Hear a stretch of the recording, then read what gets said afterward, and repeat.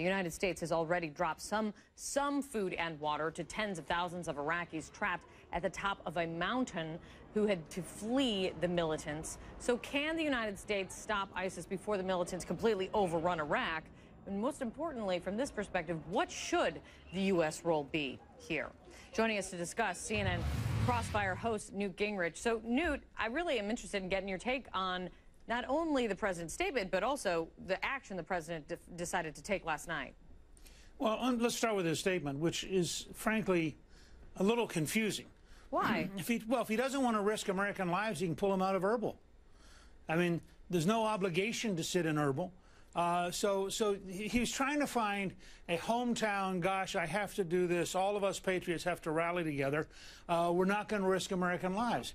Uh, the tragedy of where we are, and this is not about President Obama, this is about President Bush, it's about President Clinton, it's about where the country's been now about radical Islamism, probably for probably since 1979 when the Iranians seized the American uh, embassy. Nobody wants to tell the truth. The truth is, this is a radical Islamist group. They say openly, if you don't convert, we'll kill you. It turns out they actually mean it. There's no, no, complexity. They're exactly like Hamas. Hamas says openly, we're going to kill every Jew. That's a direct quote from two weeks ago. We will kill every Jew. Uh, the difference is that ISIS is gaining power, and they're doing exactly what they said they would do. Uh, and I think this, is, if you go from Boko Haram in Nigeria all the way across the region, what you see is a radical Islamist force.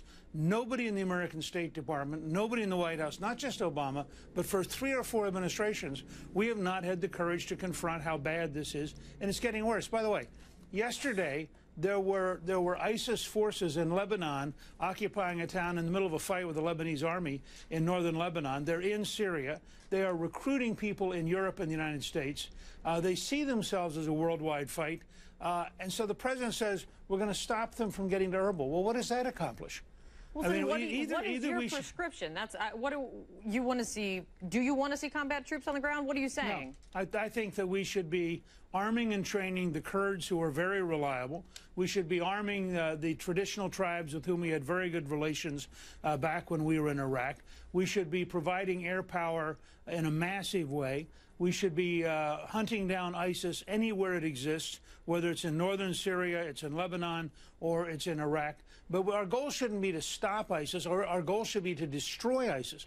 This is a radical, anti-human organization. Do you not think, gonna... that you can accomplish that with if if you went really big on airstrikes that you can accomplish that, taking them out? I think if I think if you train and equip Kurds and you train and equip traditional Sunni tribes and you and you ally yourself with everybody who wants to defeat ISIS, you will in fact defeat ISIS. But the goal should be clear. Mm -hmm. Just as it should be in Gaza. The goal in Gaza should be the defeat of Hamas. Because Hamas means what it says. It wants to kill every Jew. ISIS means what it says. Well, you can't coexist with a neighbor whose stated public goal is to wipe your family out.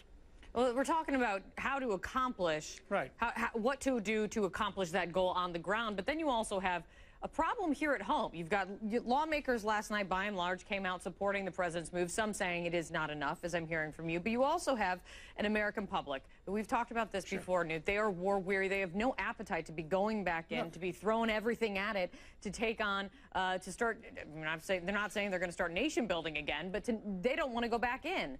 What do you say to the American I, public? I don't blame them. We've just had 12 years of war that accomplished almost nothing. You're seeing that in Iraq right now. You're seeing it with Hamas right now. Until we have a national strategy and we have an open, honest conversation, the president couldn't even honestly describe ISIS last night because it goes against his ideology. So he what can't do you even mean? Explain. How was he? How was he misdescribing it last night? ISIS is a radical Islamist organization dedicated to wiping out everybody who's not prepared to convert to Islam. Uh, it has a very clear religious background, just as Hamas does, just as Boko Haram does. There is a war against Christians across the region.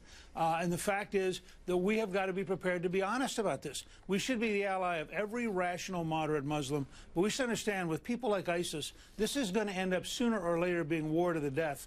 And what the American people deserve is a coherent strategy that gets us to a decisive victory and the minimum use of American troops and the maximum use of other kinds of American assets. Uh, one thing that, uh, of course, comes up is the question of is this mission creep, or looking at it from the other side, is this not enough? I want in in answering those questions and kind of exploring that, you also when you commit to something like this, you need to be prepared to answer the question, then what? Has the president answered that?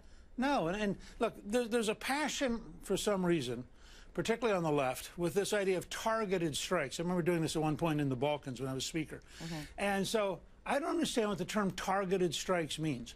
If ISIS is as, as evil as I'm describing, and I think it is, as the Pope has described in calling for humanitarian intervention, as everybody seems to describe in, in looking at what it's doing, then we should be trying to defeat it everywhere, not saying, as the president said last night, boy, if you send a truck towards Erbil, we might kill it. Well, what about the truck that's sitting, you know, two miles away with its engine idling, waiting for us to, to not pay attention? I think either this is serious and we should figure out how to win, or this is not serious and we should figure out how to get out. And as I pointed out, he could pull the troops out of Erbil, and he just eliminated one of his two excuses. There- There's, there's no reason we have to be there unless it's part of a strategic purpose. How does the political turmoil that's also happening on the ground in Iraq, how does that play into this? Because there is a possibility we're hearing that you know we could they could get a new prime minister in the in the coming days. Does that change anything in your opinion on how the U.S. approaches this? Yeah, I, look, I think Maliki has been a disaster, just as Karzai has been a disaster in Afghanistan. And I think that's the reality sometimes of going into countries like this, that you end up with a leader who is either very corrupt, very dishonest, uh, trying to do make sure his faction wins at the cost of everybody else. We don't have a very good doctrine, frankly, at the State Department for figuring out how you cope with people like that. Maliki's been a major problem for the last three or four years. Yeah. Uh, hopefully he'll be gone, but that won't solve the problem. And you now have in ISIS a, a, a cancer that is spreading in the region and a cancer that is recruiting in Europe and the United States. But do you agree with the president's statement, though? And he said this to me when we sat down early on in this in this latest crisis when we talked about this, and he said it again last night. There is no American military solution to the larger crisis in Iraq. Do you agree with him on that? No, and the reason I don't agree with him is that, that his idea uh, that there's a political solution is a fantasy. That's my point. How are you going to have a political solution with Hamas, who wants to kill every Jew? How are you going to have a political solution with ISIS, which wants to kill everybody who refuses to become Muslim? Uh, ultimately, these are forces just like Nazi Germany. But he's saying you it's end up to defeating. Iraq. To, they, they need to be the ones to Well- deal with this ultimately. Look, I, ISIS is now in Iraq, Syria, and Lebanon. Uh, it is recruiting in Europe and the United States.